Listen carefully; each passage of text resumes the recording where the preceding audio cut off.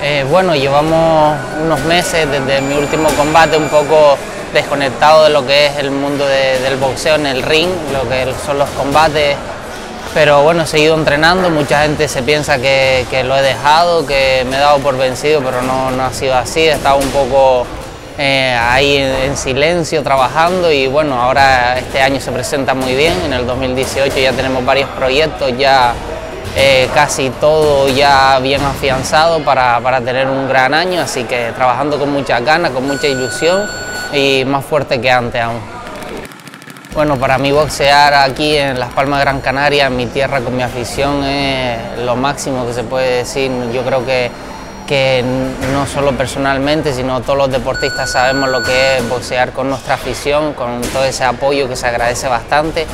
y, nada, animar a todos desde aquí a que, a que vayan, que será un gran espectáculo y que yo vengo con muchas ganas y esperando a, llegar a los más altos.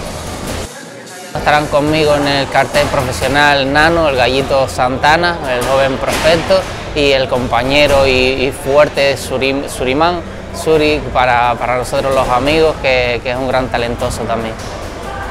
Solo tengo entendido que hay ocho combates amateur aparte de nuestros tres combates profesionales. No tengo todavía muy claro quiénes son los que boxean, todavía están ahí un poco en el proyecto de, calzar los combates amateur, pero, pero pinta muy bien, pinta muy bien la verdad.